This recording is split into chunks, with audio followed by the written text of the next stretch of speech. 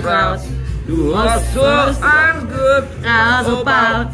Edeltraut, oh Edeltraut. Oh Mann, du warst die rechte Braut.